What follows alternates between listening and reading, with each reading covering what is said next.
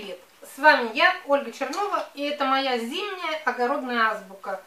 Летом я все показываю вам в огороде, а зимой как раз такой благоприятный период, когда можно немного более подробно, ну как, поизучать, теорию изучить, чтобы подготовиться к будущему сезону.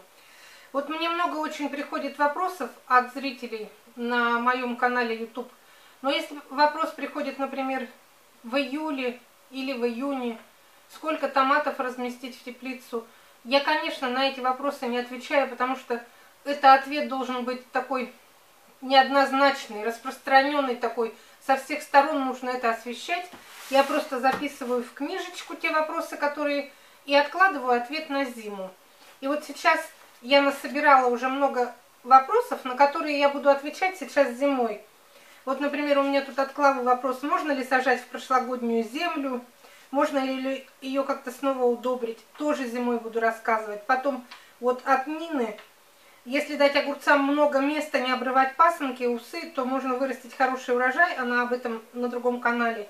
Как вы к этому относитесь, я об этом тоже буду рассказывать. Тут много, тут вот даже Надежда Родионова мне дала совет, как выловить двоехвосток, потому что в этом году очень много урона от двоехвосток получилось. Это с помощью мокрой тряпки. Про это даже буду рассказывать. И очень много-много вопросов вот таких, которые задают люди летом, но не получают ответа, потому что это нереально. Летом горячая пора, садиться за компьютер и писать каждому ответ. Вот сейчас я буду отвечать очень подробно на вопрос, который приходит очень часто. Сколько томатов можно разместить в теплицу? Ну, там один человек спрашивает теплицу 3 на 8, другой в теплицу, например, 3 на 6. Это не важно. Главное, это даже не зависит от размера, главное, вы должны уяснить принцип, по которому вы можете высчитать количество томатов в вашей теплице.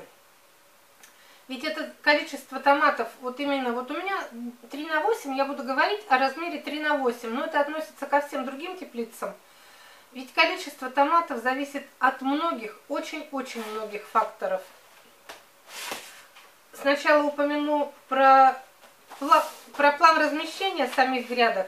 Грядки разместить можно по-разному. У меня вот такой вот схема. Вот у меня центральная дорожка, две справа, две слева. Но если у вас, например, вот такая схема, когда центральная одна грядка и две по краям, это будет совсем другое количество. И вот перед тем, как ответить, например, каждому индивидуально, я не могу спросить, какое у вас размещение, какие сорта.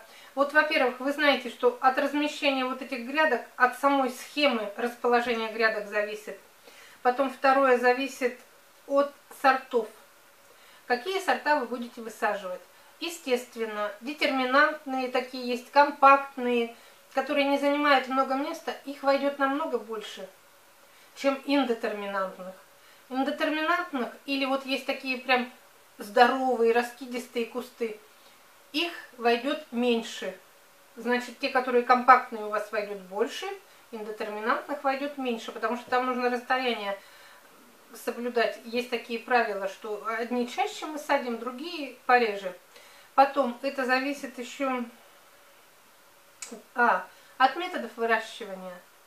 Вот я с самой весны показывала, как я высаживаю по два томата в одну лунку. Естественно, в моей теплице намного больше размещено томатов, чем у тех, кто высаживает один куст в лунку.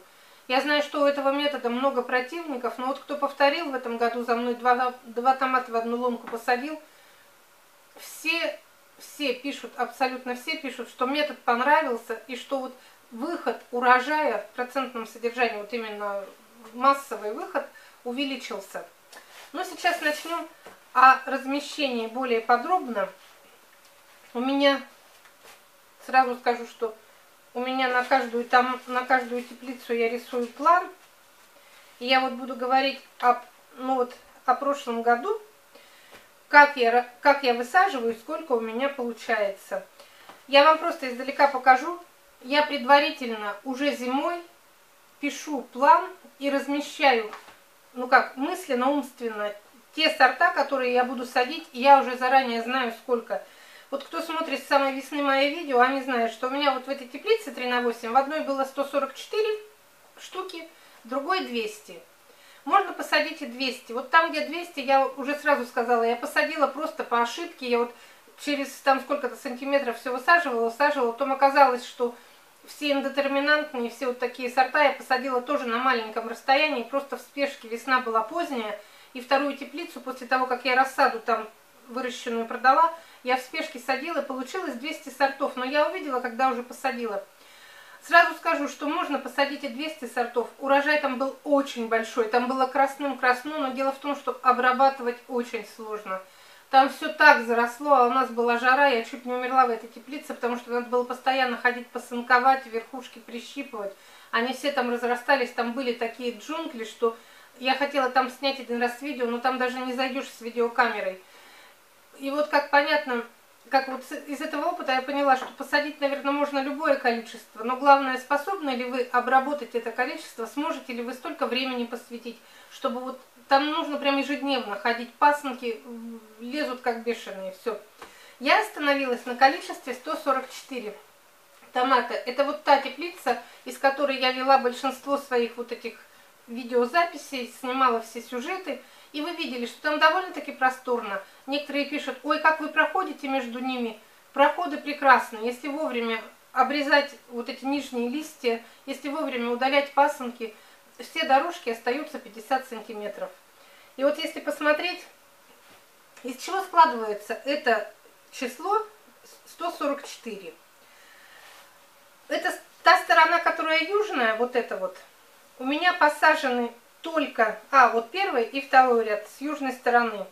У меня там высажены только компактные детерминантные сорта, между которыми расстояние, ну, даже и положено, но я еще делаю расстояние поменьше, 30-40 сантиметров. Они, разрешено их выращивать загущенно, это и демидов, и вот всякие вот эти вот, ну не буду все называть, которые Санька, Демидов, Ренет – все вот эти сорта, которые маленькие-маленькие кустики, я их высаживаю сюда, небольшое расстояние, и еще по два в одну лунку, получается вот в одном ряду где-то, я даже сейчас,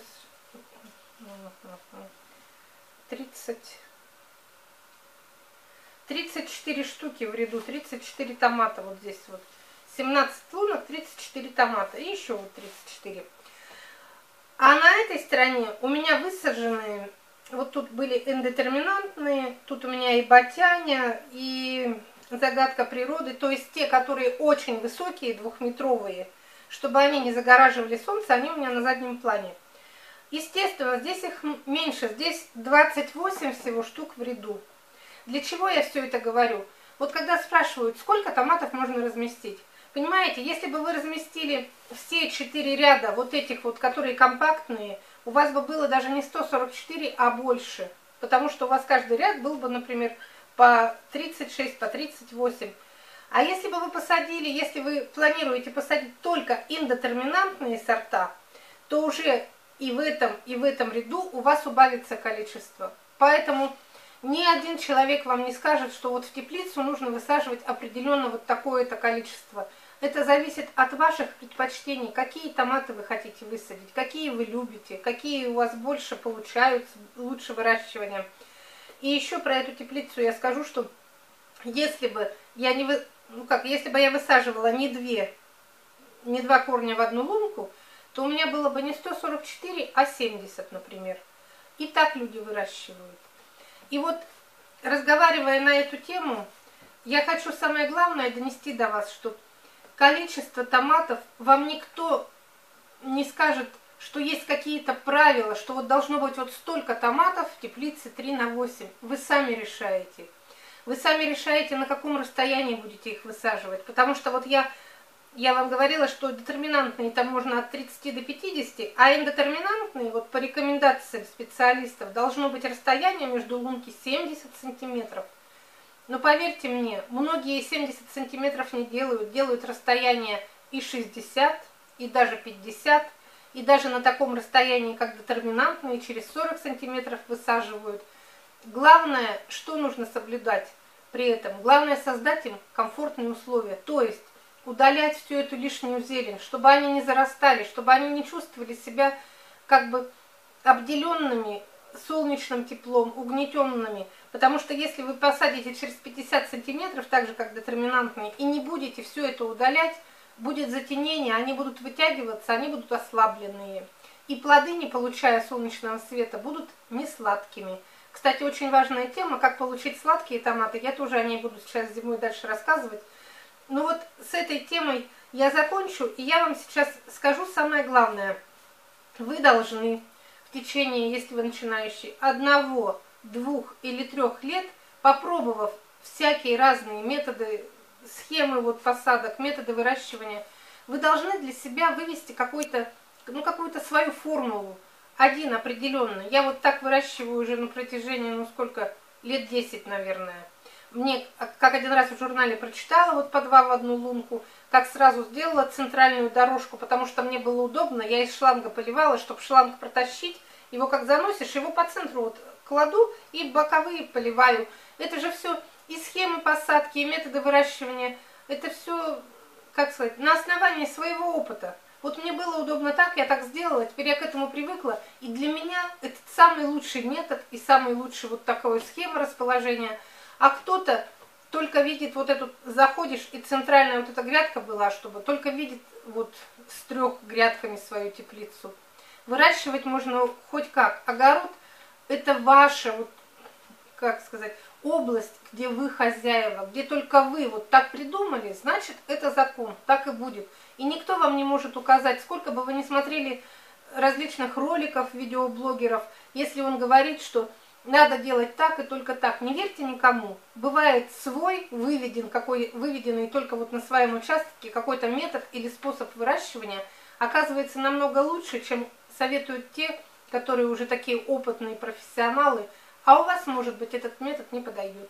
Я вам желаю, конечно, повторить за кем-то, может быть, даже вот за мной, один раз, один год сделать так, другой раз сделать как-то по совету других людей, посмотреть у соседей, и обязательно определиться и вывести какой-то один способ, метод выращивать. Вот у меня в теплице 3 на 8 144 томата. Я прекрасно прохожу по всем дорожкам. У меня все они освещены. У меня они дают очень хороший урожай. Посмотрите весенние и летние видео. Я бы не сказала, что там мало плодов.